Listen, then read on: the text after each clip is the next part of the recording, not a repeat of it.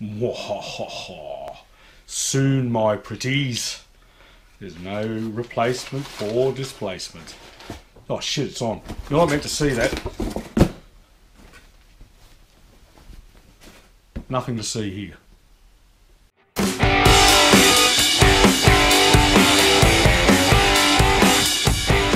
Well, g'day everybody, and welcome to Andy's Motorcycle Obsessions.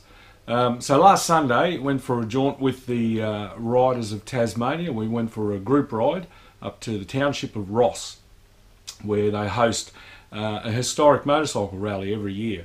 And it never ceases to amaze me the calibre and quality of bikes that, that we do have here in Tasmania. So rather than waffle on about it forever, I thought I'd uh, just put together a montage of photographs uh, and let you have a look at it. We had bikes from everywhere. We had bikes from Germany. We had bikes from Italy. We had bikes from America. We had bikes from Japan. We had bikes from England. Uh, so have a look at the photos, and then at the end of that, uh, I'm going to just spend a little bit of a, a minute or two just uh, taking you through what was my favourite bike of the day.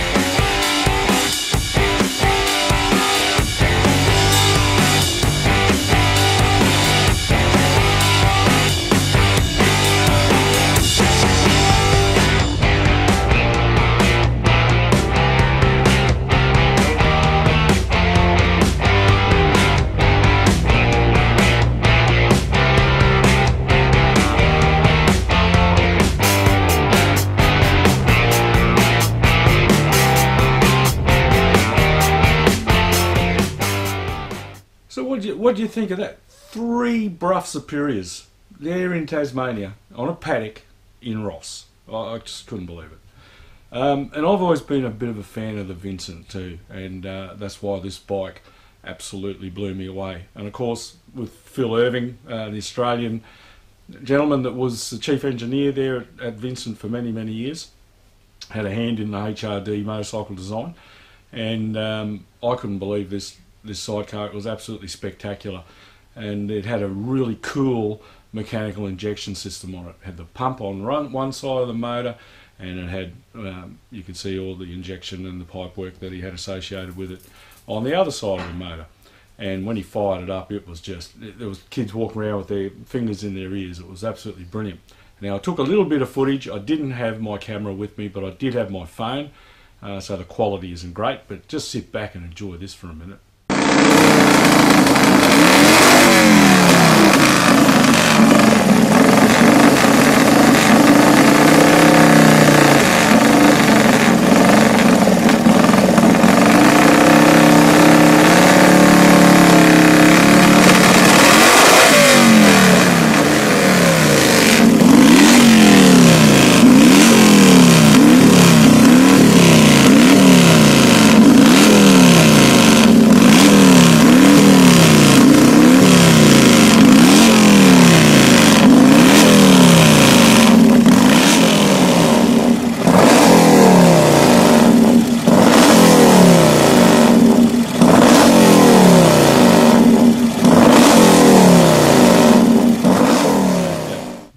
That impressed me.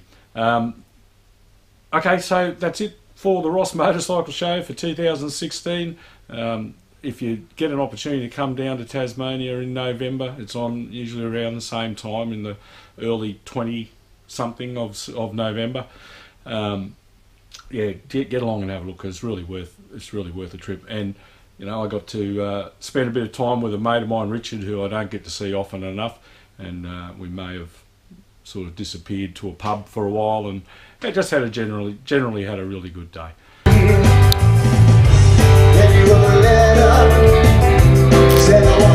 Where else would you rather be, Ollie? Nowhere else. Nowhere else. Oh, Cheers, dude. I nearly sealed it.